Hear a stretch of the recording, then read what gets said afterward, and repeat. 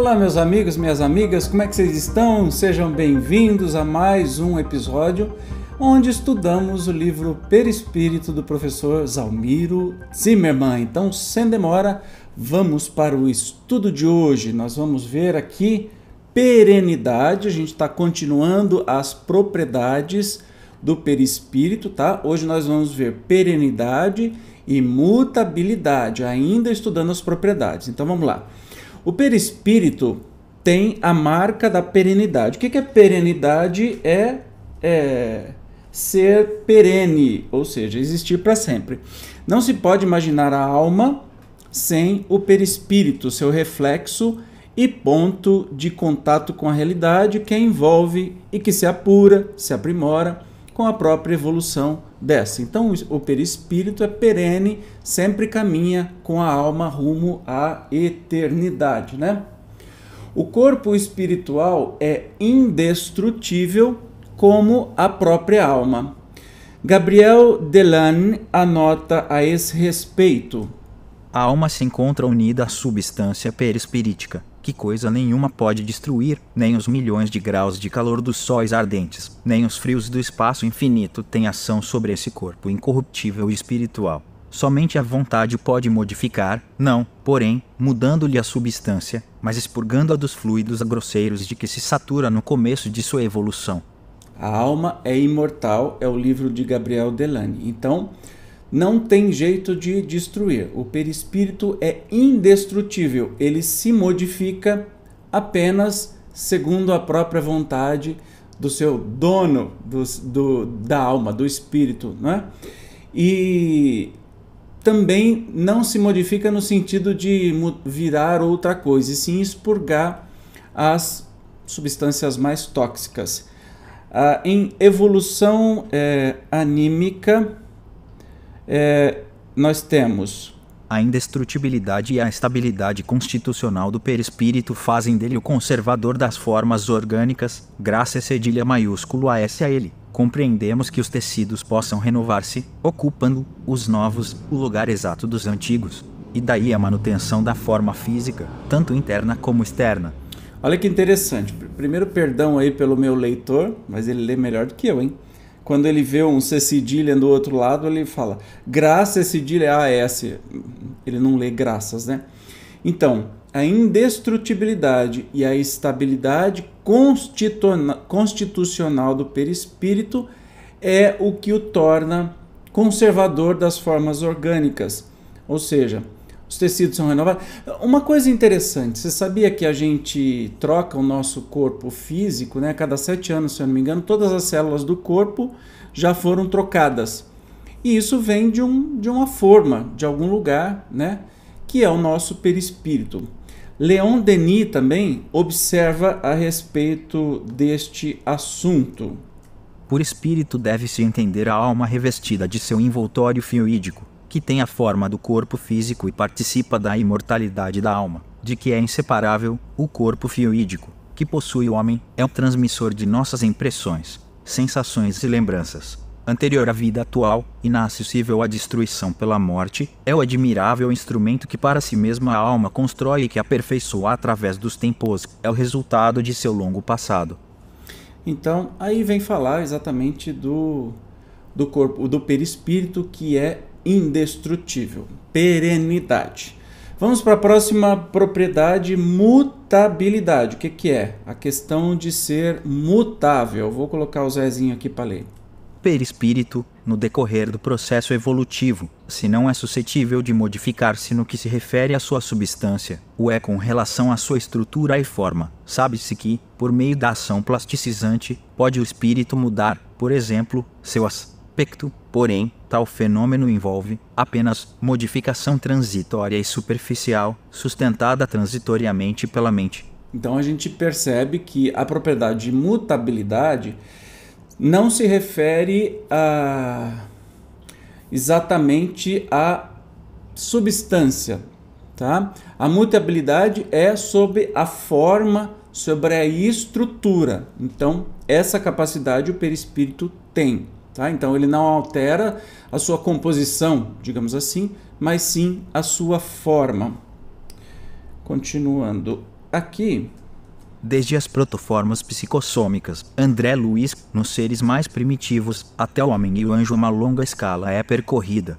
E quanto mais progride a alma através das sucessivas transformações, oito mais apurado vai se tornando seu veículo espiritual e, consequentemente, mais delicada a sua forma. Então, poder-se assentar que o desenvolvimento do perispírito, através dos milênios incontáveis, passa como formação rudimentar pelo estágio vegetal, viaja pelo reino animal, já como uma protoestrutura psicossômica, chegando então à dimensão hominal, como veículo elaborado, sensível e complexo, a refletir as próprias condições da alma que surge vitoriosa, tocada pelo pensamento divino.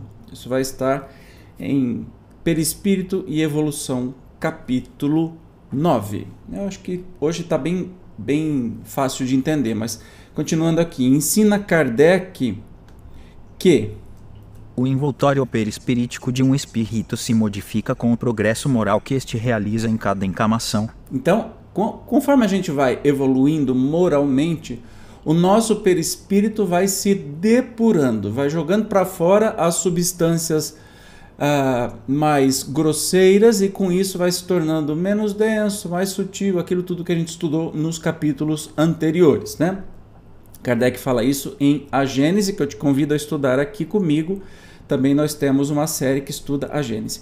E Leon Denis, depois de explicar que é o perispírito que garante a manutenção da estrutura humana, Leon Denis nos diz: esse corpo fiofídico não é, entretanto, imutável, depura-se e enobrece-se com a alma, segue através das suas inumeráveis encarnações, com ela sobe os degraus da escada hierárquica, torna-se cada vez mais diáfano e brilhante para, em alma algum dia, resplandecer com essa luz radiante de que falam as Bíblias antigas e os testemunhos da história a respeito de certas aparições. A gente percebe que os relatos sempre falam né, de seres luminosos e tudo mais. O próprio Jesus, quando foi para o Tabor, ele resplandeceu. Isso é uma propriedade do perispírito Leon Denis vem nos dizendo aqui. Eu tô achando engraçado que o Zezinho aqui, o meu leitor, cada dia ele, ele lê uma coisa diferente. Inteligência artificial vai aprendendo, né? Continuando Leon Denis. A elevação dos sentimentos, a pureza da vida, os nobres impulsos para o bem e para o ideal, as provações e os sofrimentos pacientemente suportados, depuram pouco a pouco as moléculas perispírticas, desenvolvem e multiplicam as suas vibrações, como uma ação química, eles consomem as partículas grosseiras e só deixam subsistir as mais sutis, as mais delicadas. Aspas. Quanto mais elevado é o espírito, tanto mais sutil, leve e brilhante é o perispírito, tanto mais isento de paixões e moldeado em seus apetites ou desejos é o corpo. A nobreza e a degenidade da alma refletem-se sobre o perispírito, tornando mais harmonioso nas formas e mais etéreo. Tá em Leon Denis, Leon Denis Depois da Morte, no livro. Eu recomendo que você leia, porque Leon Denis é brilhante, o apóstolo do Espiritismo. Né? Então, quanto mais elevado é o espírito, mais sutil, leve e brilhante é o perispírito. Tanto mais isento de paixões e moderados em seus apetites ou desejos é o corpo. A nobreza e a dignidade da alma refletem-se sobre o perispírito tornando mais harmonioso e mais etéreo, ou seja, a gente vai ficando cada vez mais bonito. Olha que notícia boa! E mais etéreo, mais leve, mais brilhante. Ó, temos aí uma academia, uma, um salão de beleza para o perispírito. Você sabe qual é? O bem, a caridade, o amor. Esse é o salão de beleza melhor possível se a gente quiser embelezar o nosso corpo, academia para o nosso corpo espiritual. Uau, essa você não sabia, hein? O tempo depois, o tempo, pois, constrói com a evolução da alma, neste e em outros mundos, a própria eterização do perispírito. O item 186 do Livro dos Espíritos esclarece a propósito que, em graus mais avançados, quando já desnecessária a forma física para a drenagem das imperfeições espirituais, o corpo espiritual, sem que desapareça, parece, parece quase confundir-se com a própria alma. Então, este corpo espiritual ficando cada vez menos denso, mais leve, mais sutil, consegue alcançar, né, espaço-tempo com maior facilidade, porque você tem menos resistência, digamos assim, fazendo uma analogia meio besta, com um corpo em atrito com o ar, por exemplo. Quanto mais sutil vai ficando, menos atrito vai tendo. Tá, pode ser uma bobagem que eu falei, mas enfim. vai acontecendo, não é? O perispírito vai ficando cada vez mais sutil, menos denso, mais bonito, mais brilhante. Até que um ponto, nos espíritos felizes, ele se confunde com a própria alma de tão sutil que é.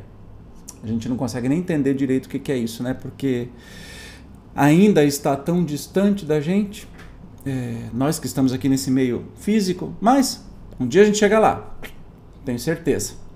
E hoje nós ficamos aqui, é, analisamos essas duas propriedades. No próximo encontro nós vamos ver mais Três propriedades: capacidade refletora, odor e temperatura. Então continua imperdível esse estudo, tá bom?